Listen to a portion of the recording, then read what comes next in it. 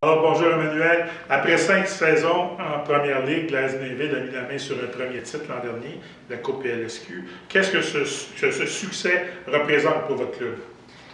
Nous, on espère que c'est une première étape vers, vers d'autres trophées. Euh, c'est euh, l'ouverture d'une ligne sur notre palmarès de club à ce niveau-là.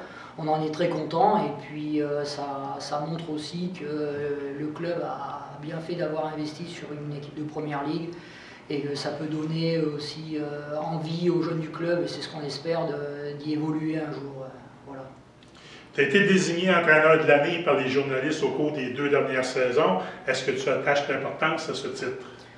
Ça me fait plaisir au moment où, euh, je l'entends, bien entendu, euh, ça, me fait plaisir, mais euh, durant l'année, c'est loin d'être une obsession, j'y pense jamais. Et tes objectifs pour 2017 On va déjà compléter le groupe qui devrait être relativement stable par rapport au groupe de 2016. Euh, et ensuite, pour fixer les objectifs, eh on va attendre peut-être quelques journées pour voir euh, la qualité de nos adversaires. Mais euh, après deux saisons où on a été sur le podium et dont la dernière où on a gagné un trophée, ça a aiguisé notre appétit et on espère quand même faire au moins aussi bien. Merci, bonne saison.